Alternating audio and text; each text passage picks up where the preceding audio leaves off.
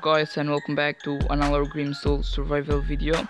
And in this video I'll show you what's new on update 1.1.0 so the first thing what's new the Forsaken Dungeon it's um, finally released and it's only level 1 and there are five, five new enemies on, on the dungeon as well as trophies 3 rare unique weapon skilled armor set designed and much more. Added the grindstone which allows players to increase weapon damage. So this is a new item but uh, will increase the damage of weapons. Added a second access slot.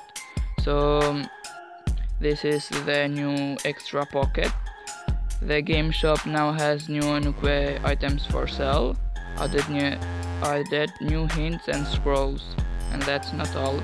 So this is what's new on update 1.1.0 and I will do more videos about this uh, later because uh, now I don't have too much time. And so goodbye and see you next time. Peace out